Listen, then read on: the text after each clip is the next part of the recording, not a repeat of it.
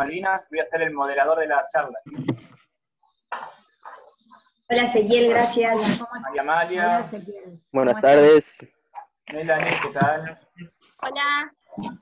Ahora esperamos un ratito, las presento, hacemos la presentación. Buen día a todos. Buenas tardes. Buenas tardes. Hola, buenas tardes.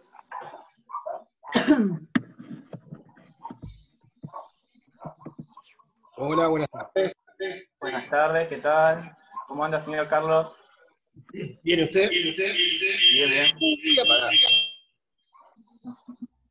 Y le vamos a pedir a todos que por favor se silencien, igualmente los, vamos- los van a silenciar, alguien los va a silenciar, y bueno, solamente quedarán las, las oradoras con el micrófono abierto para que puedan disertar. ¿Tienen todo preparado el, el- para compartir pantalla, todo, no? Mel, no sé si estás como hospedadora para poder compartir. Bien. Probamos la, la opción, ¿te parece Ezequiel? Como quieras, dale, sí, sí, por las dudas. Así estamos preparados.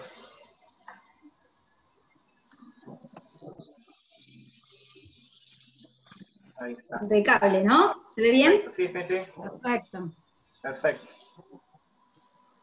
Gucci, ¿querés que lo deje en pantalla o lo ponemos luego? No, lo ponemos luego, no hay problema. Perfecto.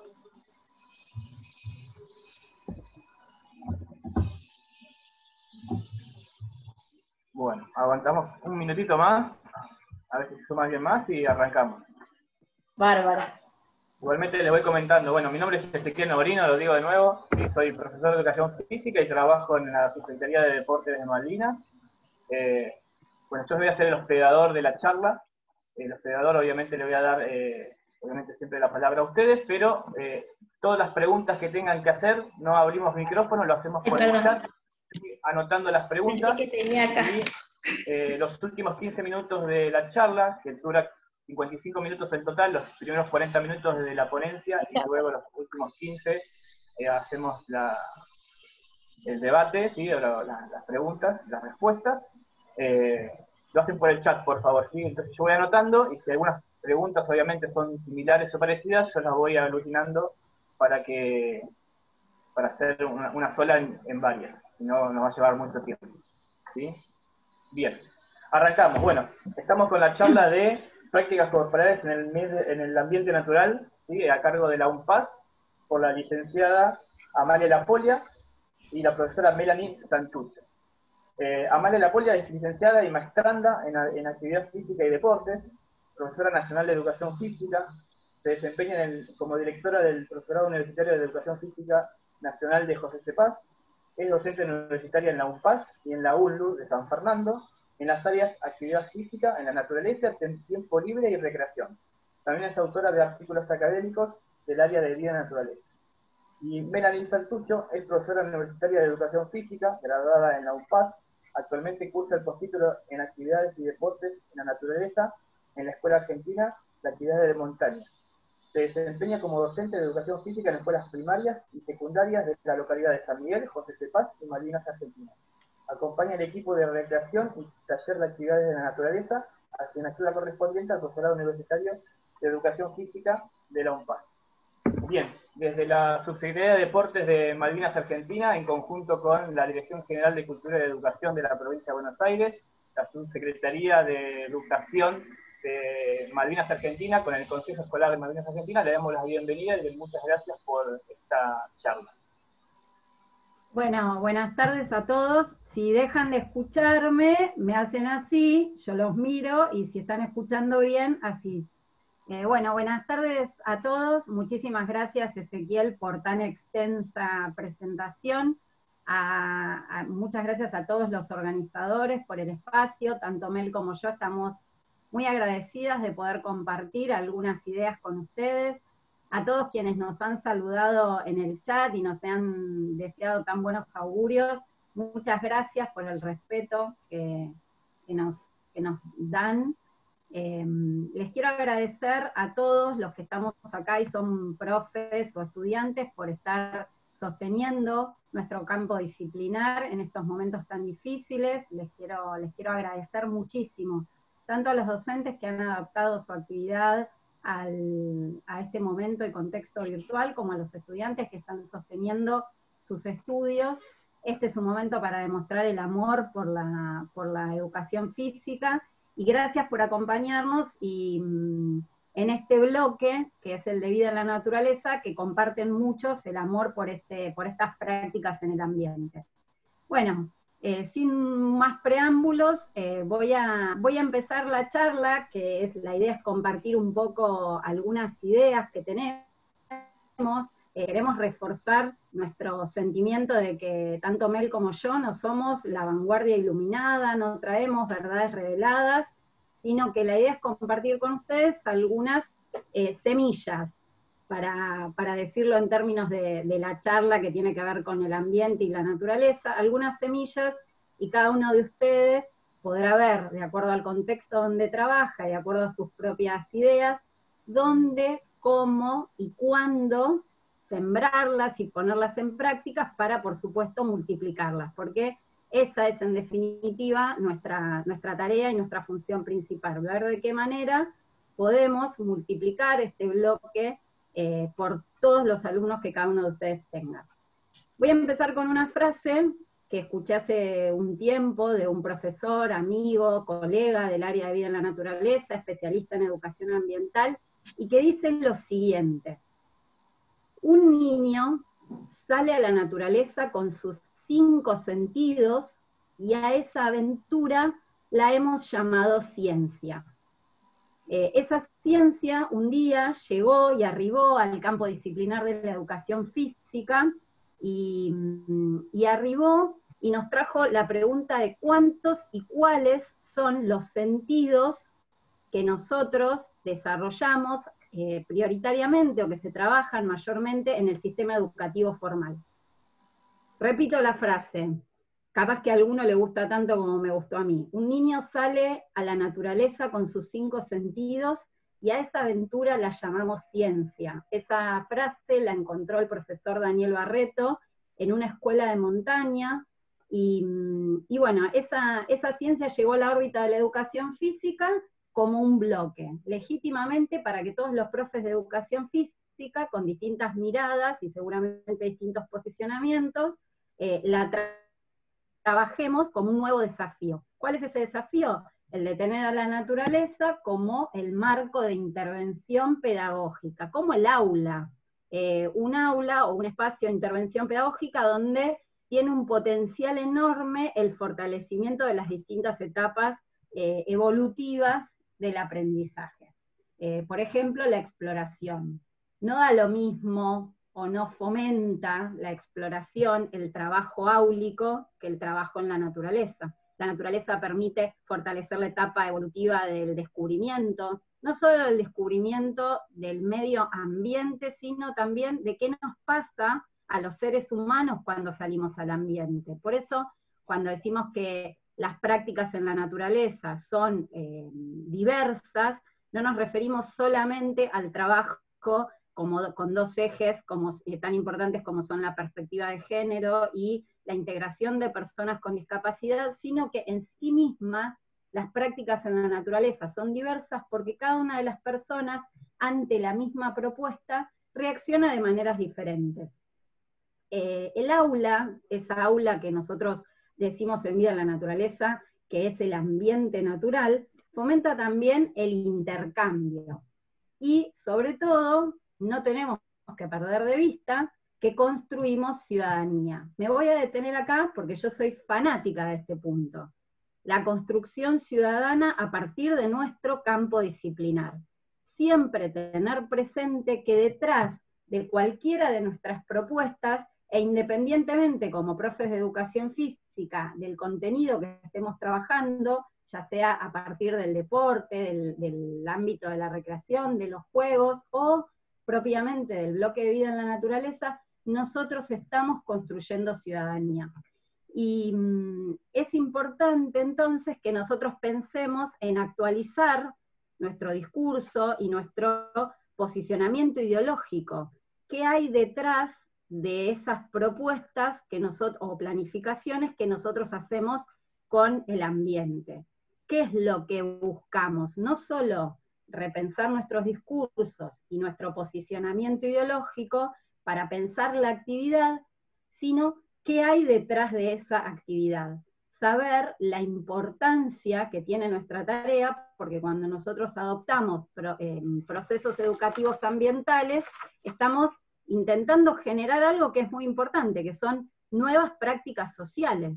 Atrás de trabajar el bloque de, vida en la naturaleza, nosotros lo, que queremos potenciar es una nueva relación de los hombres con el ambiente natural. Digo los hombres, las mujeres, digo todos, los seres humanos en general. Nosotros no salimos al ambiente, los seres humanos somos ambiente. Y mm, cuando hacemos, por ejemplo, un campamento, eh, nosotros estamos trabajando en la utopía educativa. Eh, yo digo utopía y para mí es una palabra hermosa, y digo, wow, trabajamos utopía educativa. ¿Por qué? Porque estamos construyendo y trabajando a partir del modelo de sociedad que anhelamos. En el caso nuestro, una sociedad altruista, una sociedad que se hace cargo, por ejemplo, a través de las comunitarias, de las necesidades de todos, donde las necesidades de cualquiera son asumidas por todos los demás. Entonces, es necesario que detrás de cada uno de los contenidos, cuando nosotros tenemos que completar una planificación de vida en la naturaleza, esté pensado qué modelo de sociedad es el que nosotros queremos construir a partir de esas prácticas, por ejemplo, en el ambiente natural. Y digo planificación porque muchas veces el contenido de vida en la naturaleza se ha trabajado solamente en el sistema educativo a partir de un campamento anual, que puede ser una salida educativa corta o una velada nocturna o un campamento más largo, y eh, se ha puesto el acento específicamente en el campamento. Mel ya les va a contar cómo nosotros lo que queremos es que ese contenido se trabaje a lo largo de, todo, el año, o de todos los años, de todo el sistema educativo. Y, entendemos además, eh, para todos los que ya están planificando secuencias, secuencias didácticas, que los profes de educación física tenemos un mandato prescriptivo.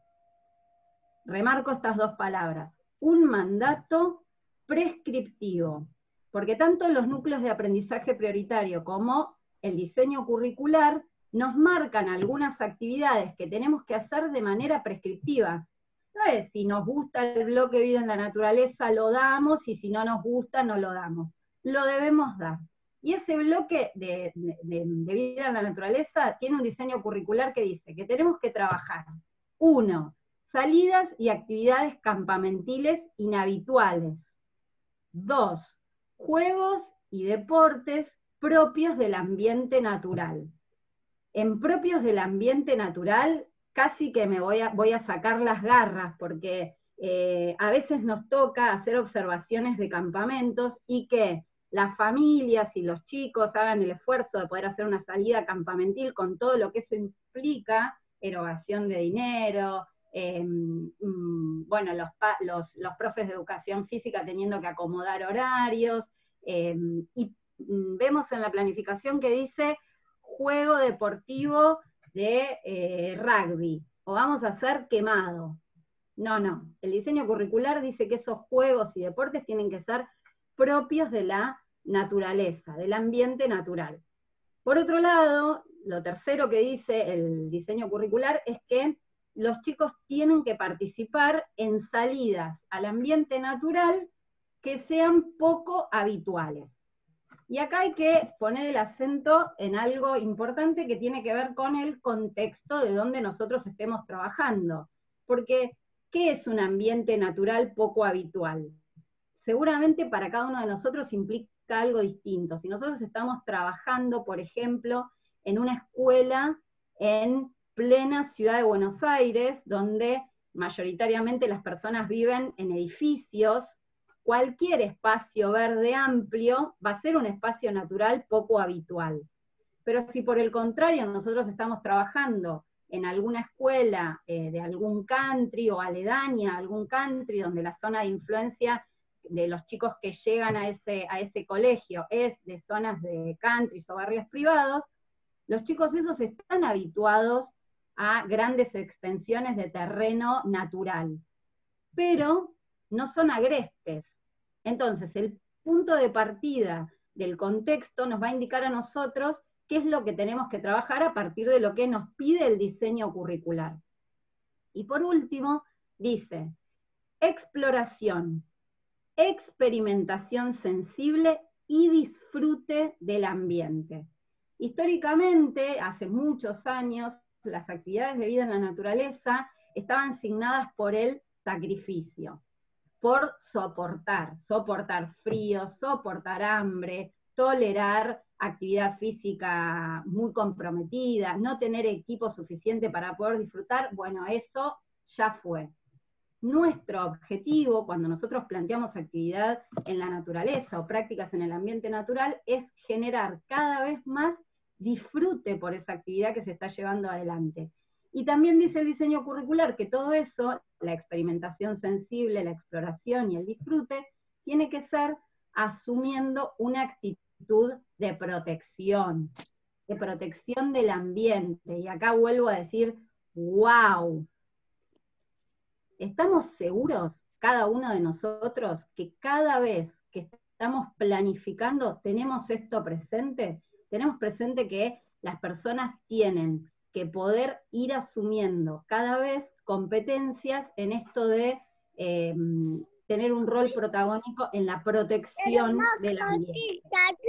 Bueno, todo esto es importante porque... Hola Sandra. Sandra, por favor, te pedimos que te mutees. Ahí está, no hay problema. Todo esto es importante porque el Estado argentino no decide quienes crearon los núcleos de aprendizaje prioritario, quienes pensaron los diseños curriculares, no pensaron en poner el bloque vida en la naturaleza solamente para las que, las personas sean competentes para irse de campamento desde el punto de vista técnico. Digo, a la sociedad argentina no está preocupada por saber que todas las personas que pasamos por el sistema educativo formal sabemos Em, la diferencia entre un fuego pagoda y un fuego estrella, o sabemos orientación a partir de la brújula, o somos competentes para poder armar un refugio o una carpa. El Estado argentino está preocupado por la implementación de políticas ambientales. Y mm, la educación es la herramienta que garantiza que las personas puedan discernir entre las buenas y las malas prácticas y es el garante, el sistema educativo formal es el garante del acceso de esas políticas ambientales y de esos saberes a toda la comunidad. Fernando Melillo, un profesor que también ha escrito bastante sobre el área de vida en la naturaleza, dice que hay tres premisas en esto de la cuestión ambiental. Por un lado, que no hay una política ambiental que pueda ser exitosa si no hay una conciencia ambiental ciudadana. Si las personas no nos hacemos cargo y tenemos conciencia de lo que nuestro paso por el ambiente natural genera, no hay posibilidad de que una política ambiental sea exitosa. Esa es la premisa número uno. La dos, esto puede parecer medio chino para los profes, pero en realidad, cada vez que nosotros saquemos a un niño al ambiente a hacer una actividad, deberíamos pensar que atrás de eso está la educación ambiental. La premisa número dos dice que esa conciencia ambiental ciudadana no es posible un protagonismo central del sistema educativo formal.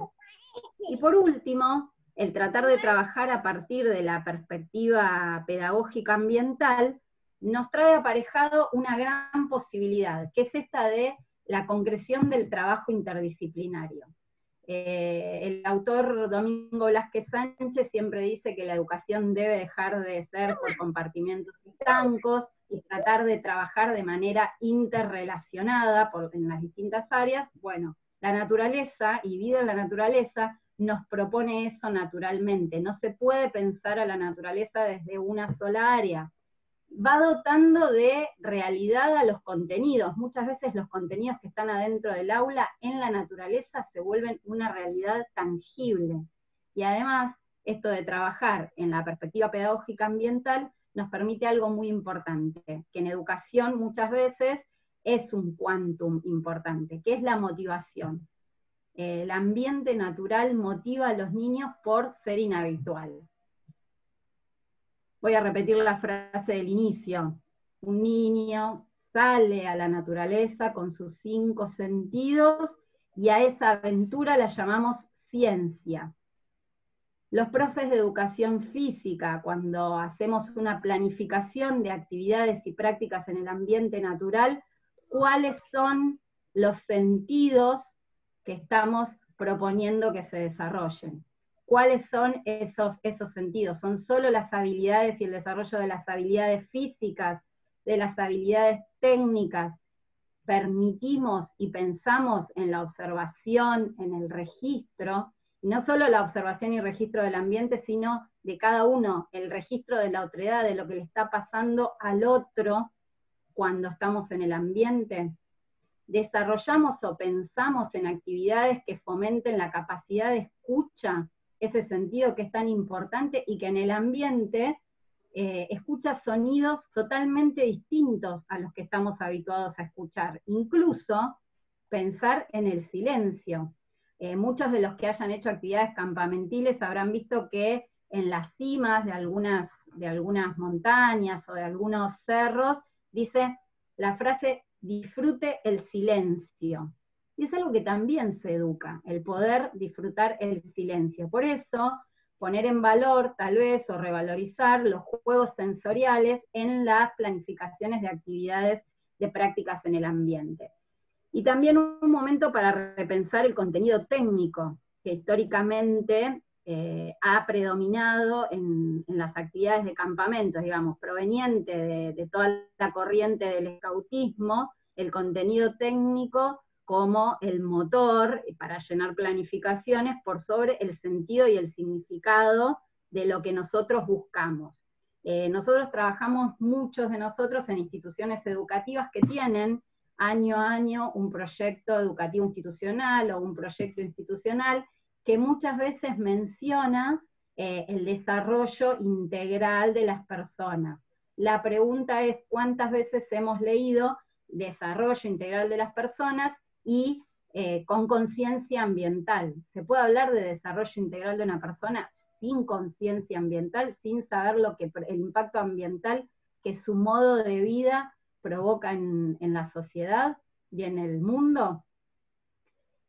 Acá les voy a hacer una, una pregunta que, porque el auditorio es virtual, es un poco retórica, pero si yo digo, los profes de educación física somos responsables del desarrollo sustentable.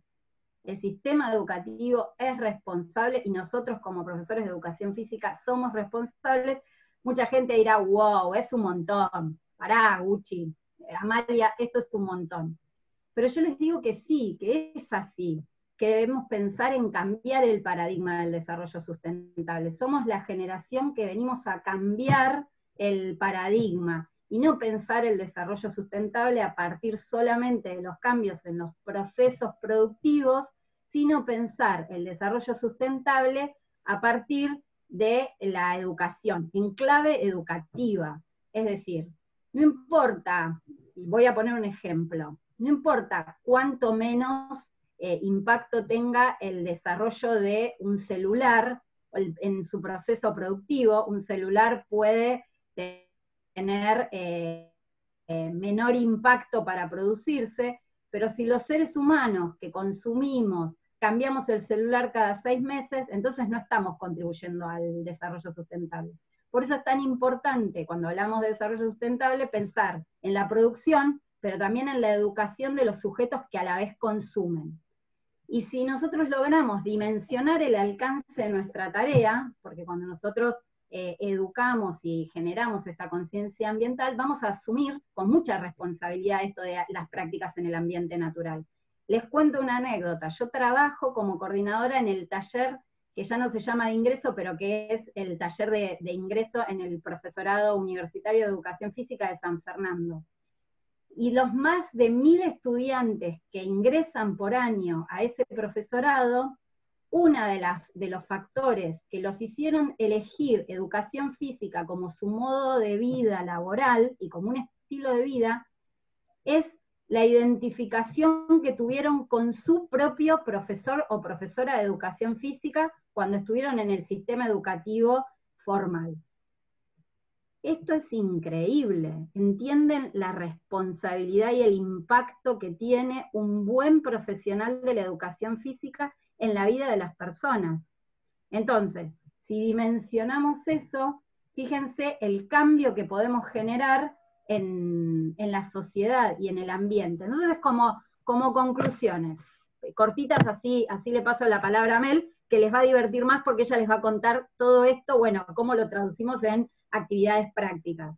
Por un lado, tener presentes que nosotros como profesores de educación física y a partir de lo que nos indica el diseño curricular en nuestro bloque de vida en la naturaleza, promovemos cinco principios básicos de la educación ambiental, que es un campo muy amplio, pero que tiene cinco, cinco principios básicos. El primero es concientizar a las personas que participan por una actividad en el ambiente natural. Es decir, irse generando cada vez más empatía. Lo que le pasa al ambiente nos pasa a nosotros. Segundo, conocimiento, comprensión de las problemáticas ambientales. Tercero, generar actitudes positivas, es decir, interés y valoración por ese ambiente.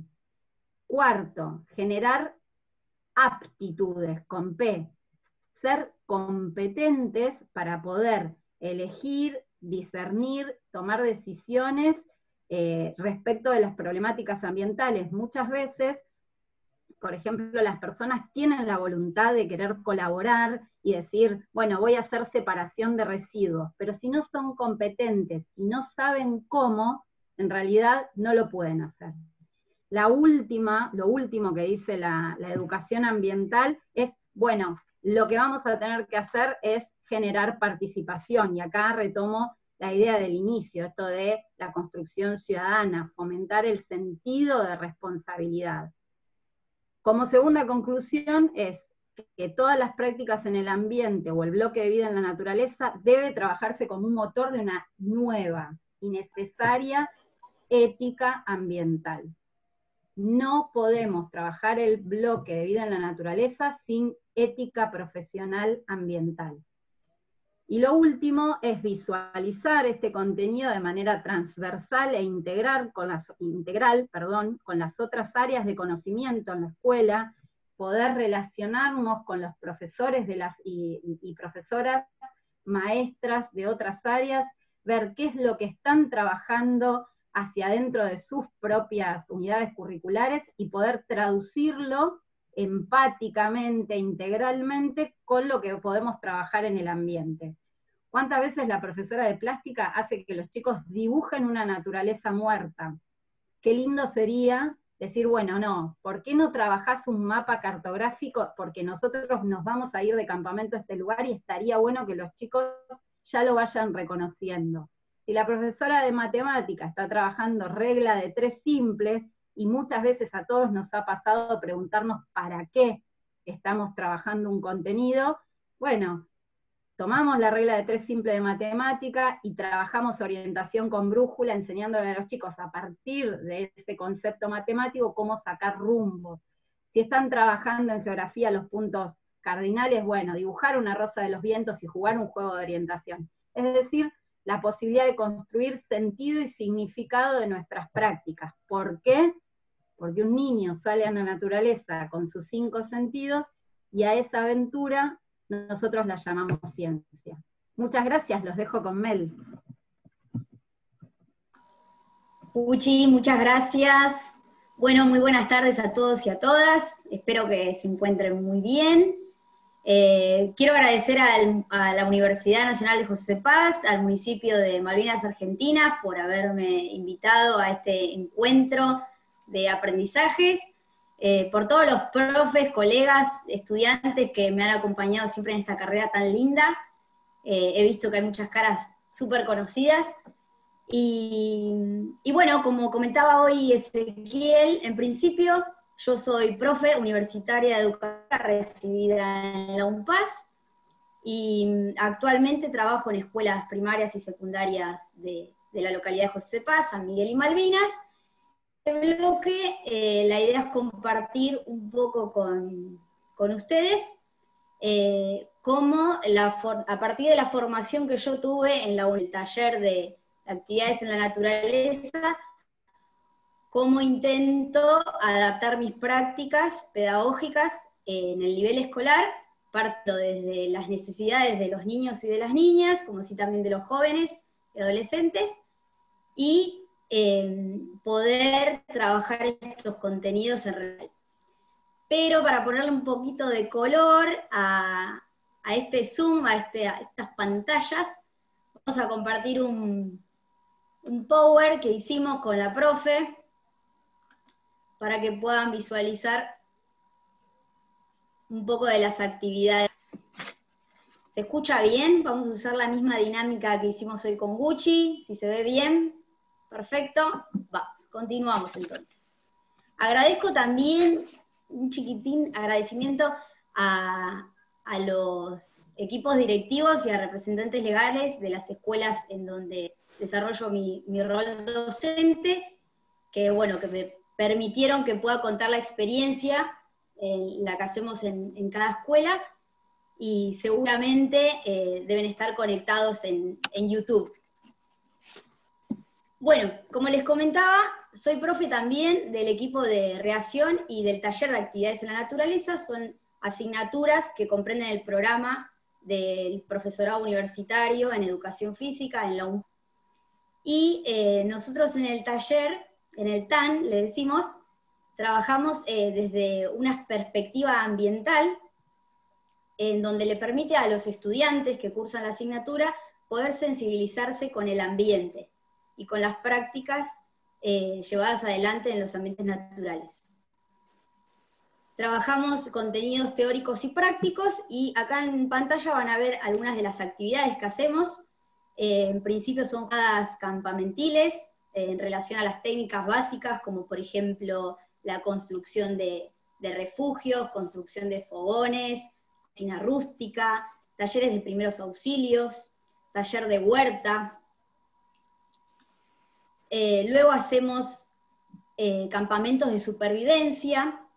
Además, lo que, lo que trabajamos en el TAN es, eh, luego de, conocer el concepto de lo que es la educación ambiental, poder conocer las actividades físicas y deportes que existen en, el medio ambiente y eh, también cuáles son las perspectivas tradicionales de la vida en la naturaleza, como así también las nuevas perspectivas que, están construyéndose de, a poco, y cómo llevar todos esos contenidos al, al ámbito escolar, en los tres niveles, tanto en el inicial como primario y secundario. Luego, en el taller, eh, los estudiantes tienen la opción de participar en diferentes talleres de actividad física y deportes. Acá vemos algunas de las actividades que son senderismo, rapel, escalada, eh, boulder también, que es otra técnica dentro de la escalada deportiva, bueno, arco y flecha. Eh, hacemos bicicleteadas para poder promover el transporte sustentable. La utilización de la brújula para luego llegar al deporte de orientación, el diseño de los mapas y un montón de recursos didácticos para luego aplicarlos también en el nivel escolar. ¿Vamos bien hasta acá? Uchi, ¿se escucha bien? Porque ahora te veo a vos en pantalla nada más. Bueno, por otro lado, compartir con ustedes que la UNPAS tiene tres funciones sustantivas, la universidad. Una es que los docentes pueden desarrollarse en el área de la docencia, estar en el aula y llevar adelante una asignatura dentro del profesorado. Luego eh, tenemos la, otra función que es de investigación. Tanto los equipos de determinadas asignaturas con otros, en articulación o interdepartamentales, pueden hacer proyectos de investigación. Y el tercero es la extensión universitaria la UNPAS diseñó un plan de desarrollo institucional donde las asignaturas pueden proponer, junto con el de la carrera, llevar adelante proyectos de extensión. Y en este caso, el TAN, el Taller de Actividades en la Naturaleza, eh, lo que hizo fue presentar un proyecto de extensión universitaria en escuelas secundarias de José C y en la escuela especial número 501 de Granbur, que es donde a mí me, tocó con, con otros profes, eh, hacer intervenciones desde el área de vida y naturaleza y de la educación. Acá le comparto algunas de las actividades que hemos hecho en esta escuela. La verdad que fue una, una actividad muy linda, donde tuvimos un montón de aprendizaje, la escuela, como los docentes de esa escuela, incluso nosotros también, y los estudiantes del profesorado que nos han acompañado. Hicimos construcciones de fogones, conocimos los tipos, cuál era su clasificación, eh, realizamos también cabullería y construimos un parque de cuerdas, eh, una tirolesa, vimos cocina rústica, realizamos pan cazador, que es una, una de, las, de las actividades que hacemos siempre también en los campamentos y las jornadas, y otro de los profes se encargó de llevar adelante una huerta institucional. Bueno, y acá continuamos un poco con las experiencias dentro de, la escuela formal secundaria. Eh, hace algunos años empecé a trabajar en el Instituto María Educacional Rosa Mística de San Miguel. Soy profe de primero a tercer año y el no tenemos campamento aún, aún no pudimos concretar nuestro proyecto de campamento educativo, pero eh, diseñamos un proyecto con otros profes en relación a la actividad física y los deportes en la naturaleza. Durante el año proponemos diferentes fechas para acercarnos a un espacio que está muy cerca de la escuela, donde los estudiantes tienen acceso eh, para llegar caminando, en colectivo o incluso en auto o bicicleta a este lugar y pueden optar por hacer buceo, kayak en una pileta semiolímpica, eh, escalada y boulder. Y luego eh, vemos contenidos de cabullería y en el campo de deportes de la escuela diseñamos también un parque de cuerdas para poder desarrollar las habilidades motrices básicas de la tracción y las trepas, que por lo general en las clases convencionales de educación física, a veces por determinadas cuestiones en cuanto a la infraestructura del colegio o los materiales, se nos complican.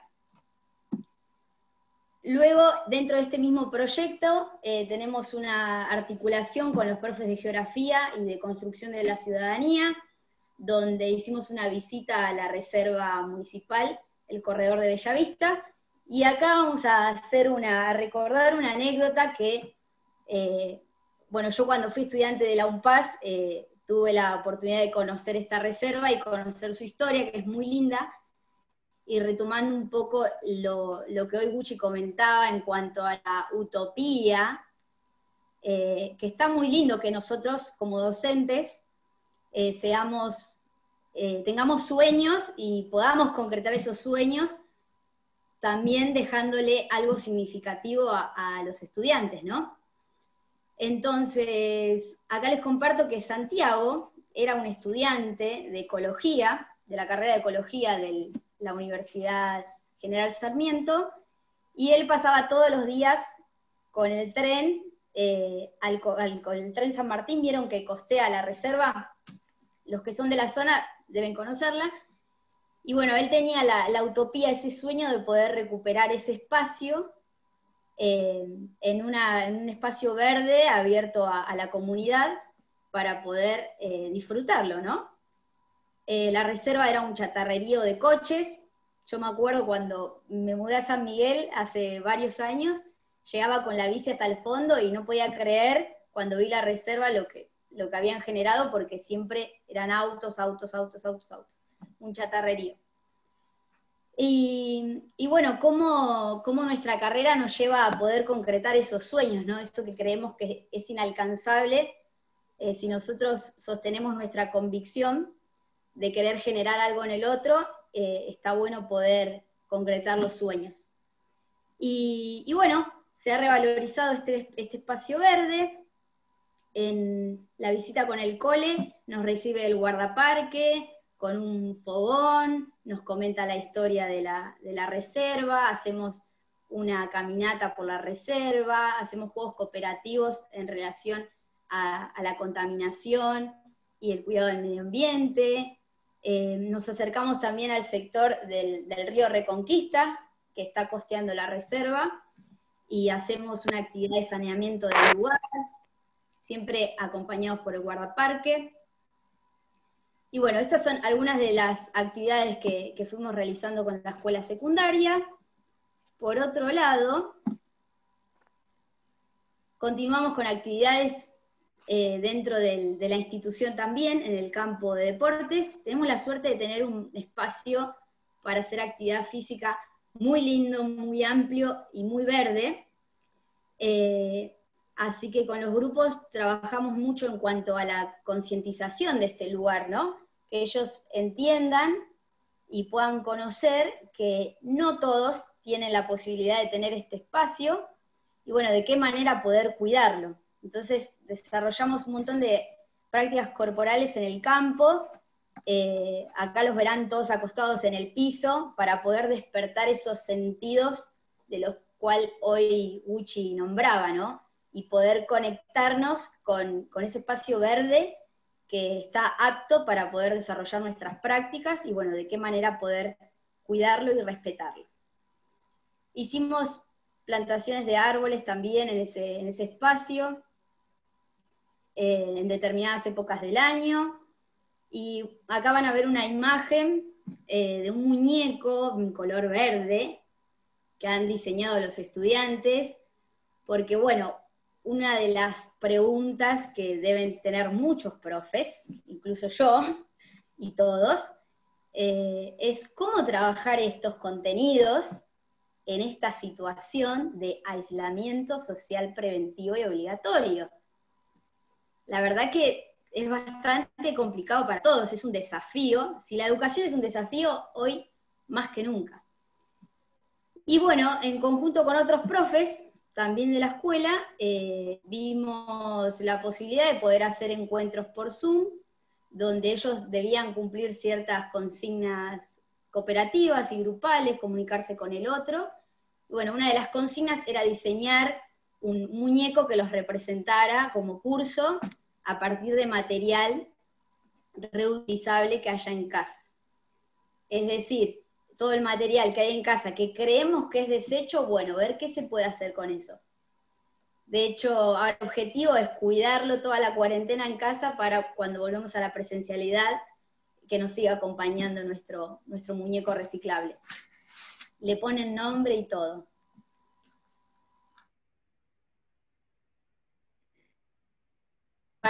imágenes en cuanto a actividad eh, que realizamos en una escuela primaria de José Paz,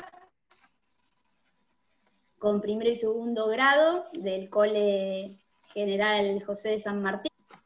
Eh, este espacio que ven en las imágenes donde hay árboles, es un espacio verde que tiene la institución que no, no se lo utilizaba para ninguna actividad. Entonces, con el Departamento de Educación Física, con los profes, le propusimos al equipo directivo de recuperar este espacio para poder realizar prácticas habituales de educación física. Y está muy bueno porque dentro de la escuela, eh, en, en otoño se caen todas las hojas de los árboles y los árboles se quedan pelados, en invierno también, pero en verano crece el pasto súper verde con las copas de los árboles verdes. Y bueno, eh, como hoy comentaba Gucci, esos, esos sentidos que despierta estar en contacto con, lo natural, con lo verde, eh, le genera mucha emoción a, los peques. La verdad que se pueden hacer un montón de actividades súper lindas.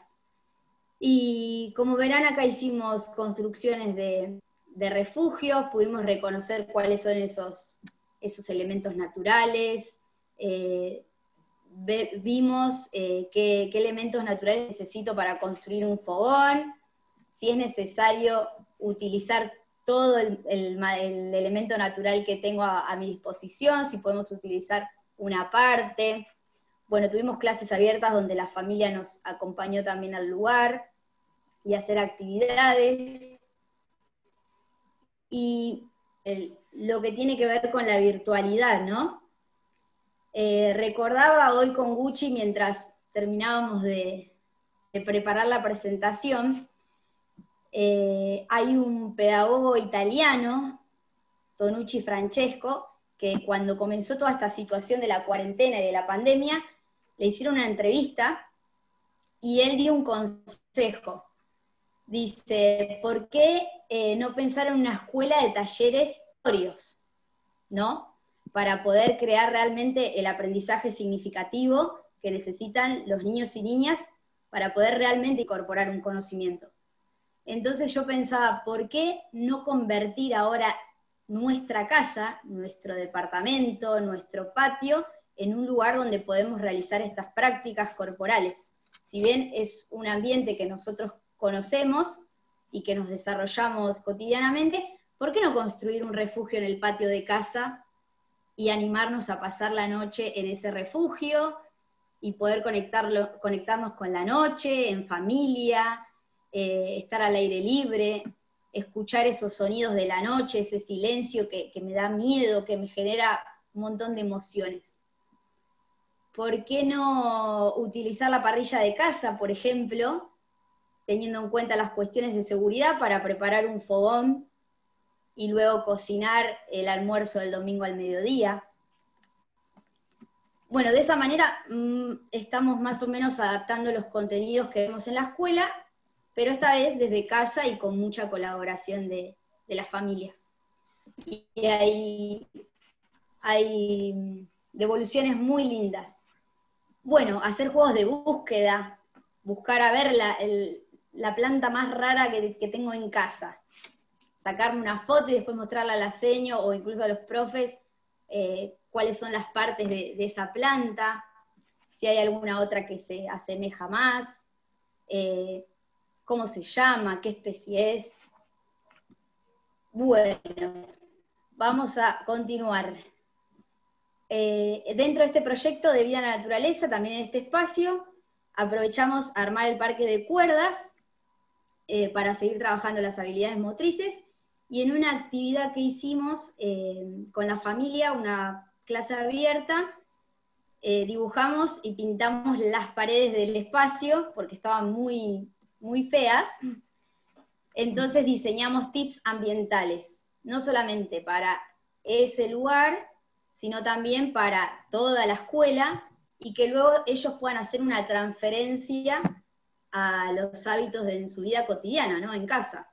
Bueno, a ver, si yo juego en el patio de casa, o en la plaza que está cerca de casa, la verdad es que si llego no me gustaría que todo el espacio esté, sucio o haya basura tirada y demás. Entonces, bueno, ¿de qué manera poder pensar en recolectar esos residuos? ¿Qué hábitos tengo que incorporar para poder generar esa conciencia, no? ¿Voy muy rápido, U? ¿Estamos bien? No, ya está, estamos en tiempo, Mela, así que ah, si querés, ya podés ir haciendo el cierre. Perfecto.